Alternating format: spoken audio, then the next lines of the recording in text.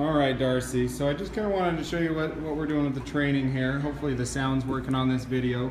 Now, what I'm gonna do, because I know that you're concerned about me, um, or about you not being strong enough to control this guy, I wanna kind of illustrate that this is not about strength. It's more about like footwork and, and kind of mentally keeping him engaged.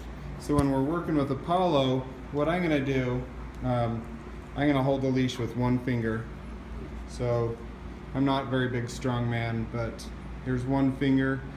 I'm gonna hold it and then with the same hand I'm gonna hold the phone and then I have his remote to the e-collar in the other hand. I kind of want to show you what it's gonna look like as we're as we're moving around here. So again, there's the leash, one finger.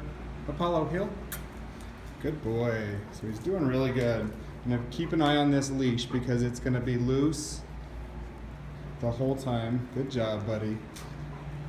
Good boy. Apollo, sit. What a good boy. Apollo Hill.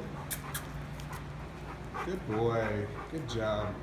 So it's important when we're walking him that he's not going in front of us, that, that we're able to make, make a left-hand turn. Oops, sorry, buddy. You step on your toe.